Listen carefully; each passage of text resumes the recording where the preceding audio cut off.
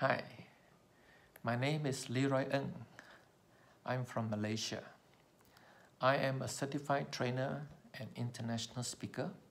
I travel to different countries in the world to train leaders on communication and public speaking. I thank you for this uh, opportunity for me to share my story. When I was nine years old, I wanted to learn swimming. And after some learning of basic strokes, I decided to go to the deep side of the pool so that I will have no crowd around me and I can swim uh, alone. One day, as I was making my swim, suddenly my strength left me. I could not move my arms, I could not kick with my legs, and I was drowning. As I was going down, I remember I was looking up, looking at the sky, stretching out my hand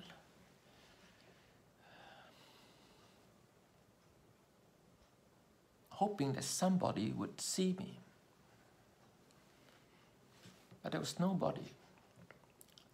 I've not yet learned how to float in the water to see where, where will I be.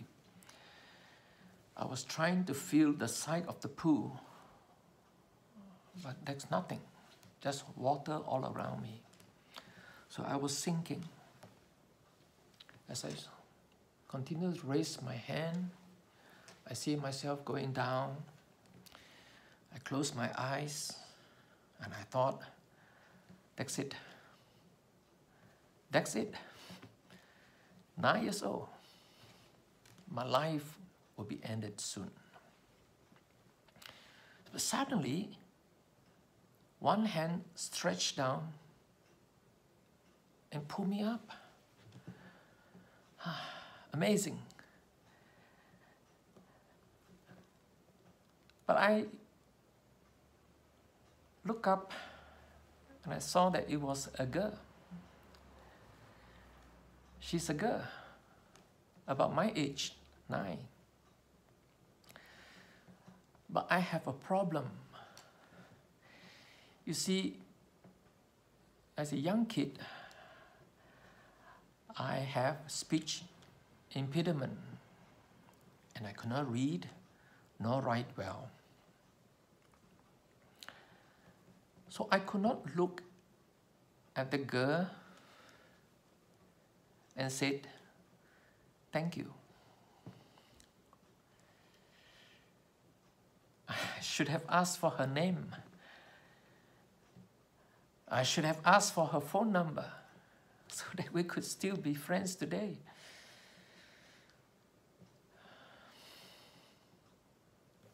I then realized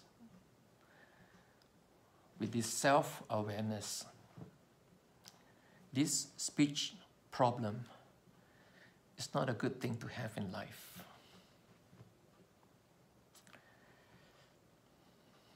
So, what happened?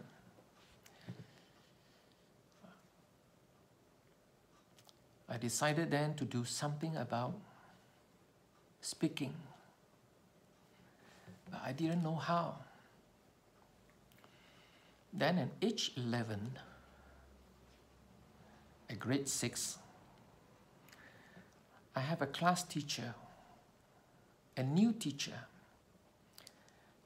And the way she taught us was so interesting. Uh, she was different from all others. She used stories to teach. And it was her storytelling that planted a desire in my heart to read, to learn,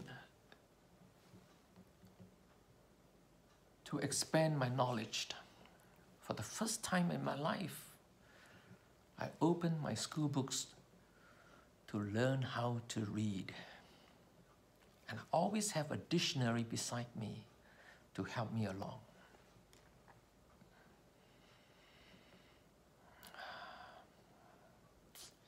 Where do, we, where do I go from here? Les Brown said, Live each day as it is your last. At nine years old, I thought that that was my last, my last day of my life. Maya uh, Angelou said, There's no greater agony than bearing an untold story inside you. This is the first time I'm telling this story. Yet this story has always been in my heart. Every time I face a problem or a challenge in my life, I remember when I was nine years old. There in the pool, I died but then I live because somebody gave me a second chance. I thank God for saving my life, and I thank this girl for saving my life.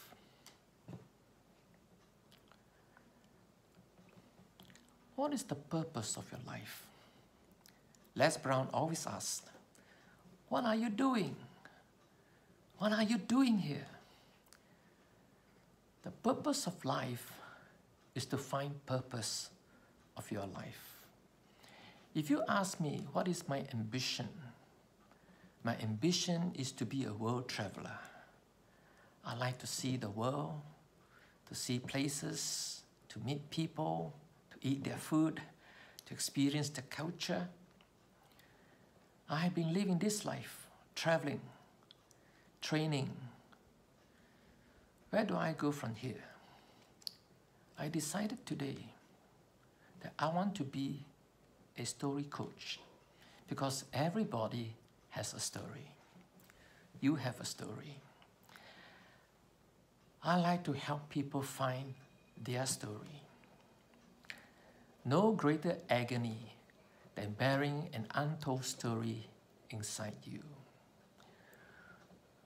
Please remember there are people out there waiting to hear your story. Your story can help people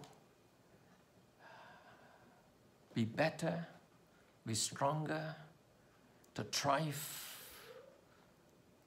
to win in their lives. Your story can make a difference in them. Thank you very much. God bless you. Good night.